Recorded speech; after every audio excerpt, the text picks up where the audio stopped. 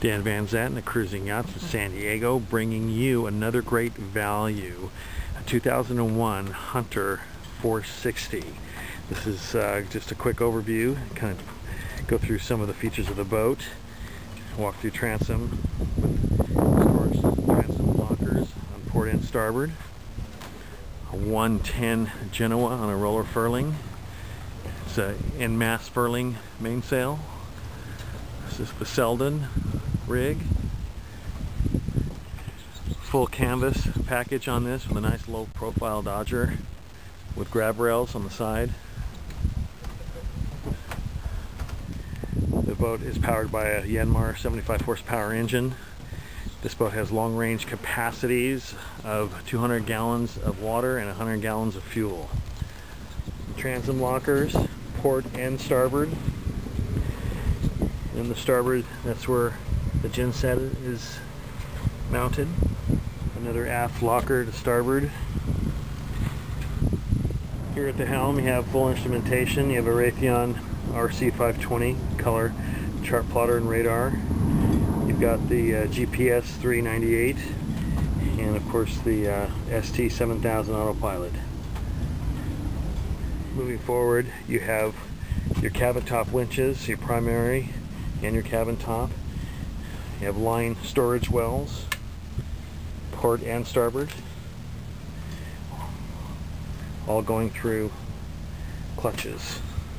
Walking up to the anchor locker, you've got the electric windlass, up and down position, and a deep split anchor locker going out to a double anchor roller. Looking aft on the deck here, you have nice wide deck, plenty of room to walk all the way aft. Approaching the companionway, you have a nice gradual stair that's not steep at all. One of the nice features of this boat. You walk in the salon, you can see how roomy and airy it is, a lot of light.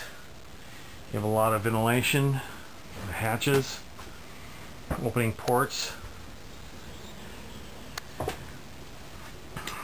To port, you have the galley with top loading and side loading refrigeration and a top loading freezer. Nice spacious countertops.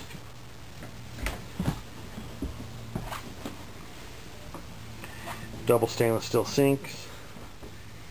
And propane three burner stove oven. And moving aft into the port cabin is where the washer and dryer is installed. Nice feature Moving to starboard side, aft, back here, the aft starboard cabin. Nice hanging locker, plenty of storage.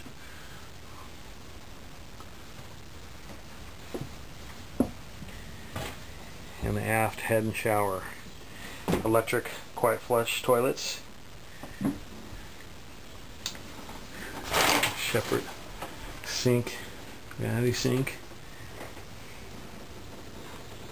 Nav station to starboard. Your battery switches right under the helm seat.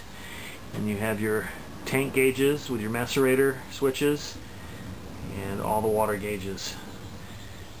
Boat is equipped with an inverter. It has a repeater screen here for the radar chart plotter. And then you have your display for your generator your electrical panel. And then moving forward to starboard you have the split settee seats. Storage right in the middle for ice or